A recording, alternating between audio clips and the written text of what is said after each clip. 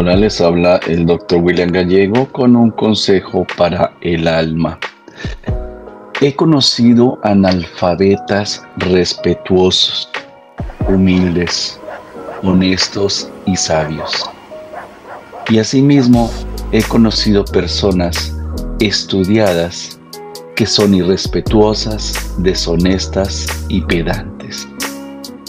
Esto me ha enseñado que la educación poco tiene que ver con la cantidad de información que almacenamos en el cerebro y mucho tiene que ver con la bondad que guardamos en el corazón. Bendiciones.